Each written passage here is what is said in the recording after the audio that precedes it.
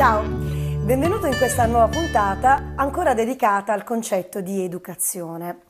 Oggi voglio affrontare questo concetto dalla prospettiva del virtuale.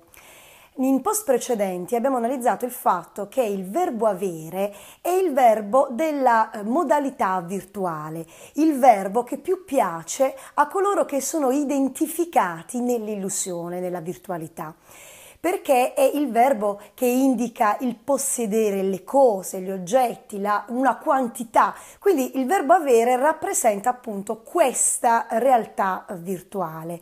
Che cosa succede dal punto di vista dell'educazione?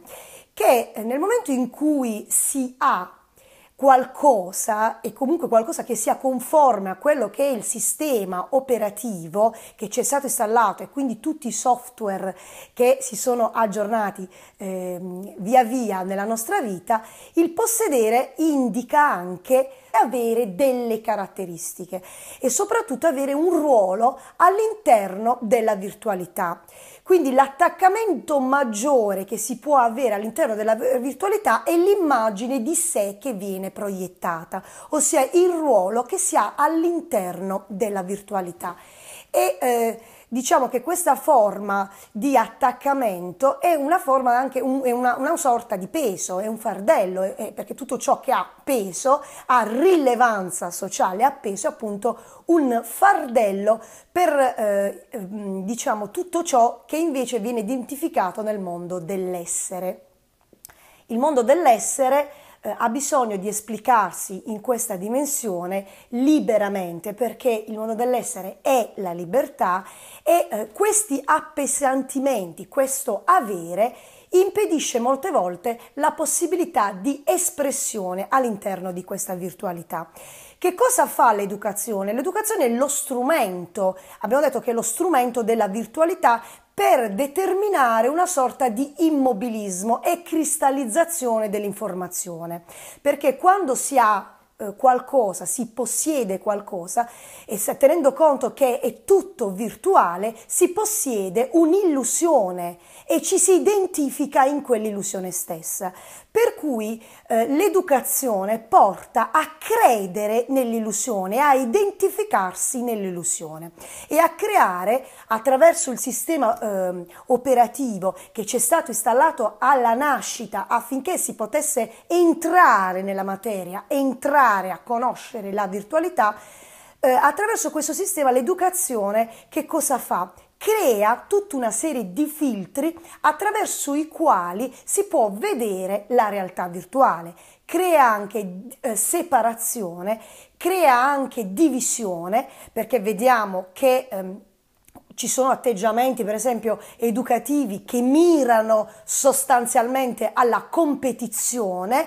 L'educazione come strumento della realtà virtuale crea una serie di filtri attraverso i quali le informazioni devono passare e quello che poi viene strutturato all'interno della nostra mentalità è il giudizio sulle cose, sulle persone e sugli sentimenti e sulle emozioni. Quindi è tutto filtrato attraverso questo strumento che di volta in volta cerca di cristallizzare le informazioni nel mondo della virtualità, cioè nel concetto di avere e possedere. Che cosa succede? Perché noi creiamo questa sorta di identificazione nella realtà virtuale sapendo che noi stiamo proiettando la nostra realtà? Com'è possibile? Facciamo finta di prendere uno specchio e metterlo dietro la nostra testa.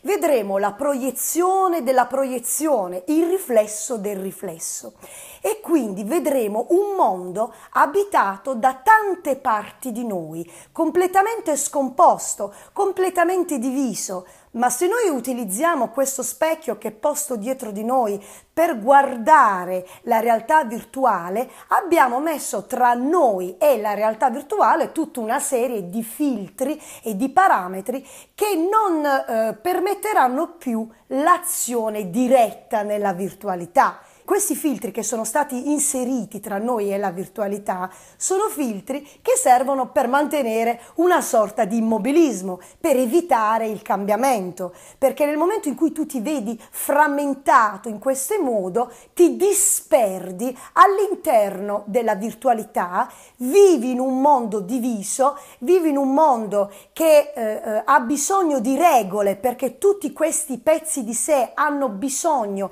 di organizzarsi per ritrovare l'unità all'interno della, della virtualità e quindi nascono le strutture di potere, le strutture gerarchiche, tutto ciò che governa la virtualità legato sempre al concetto del verbo avere. Si diviene schiavi dei propri possedimenti.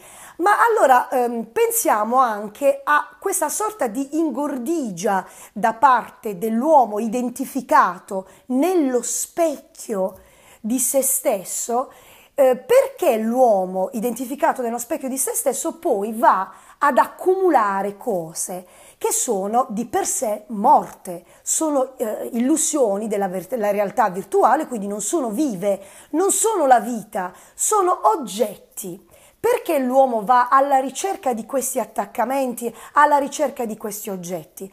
Perché nel momento in cui si identifica nella realtà virtuale ha paura della perdita di questa situazione, di questo immobilismo, di questa condizione, di questo che la perdita di questa condizione lo porterebbe ad un cambiamento di stato, alla rottura dello specchio che si è posto dietro la propria testa attraverso il quale guarda la realtà.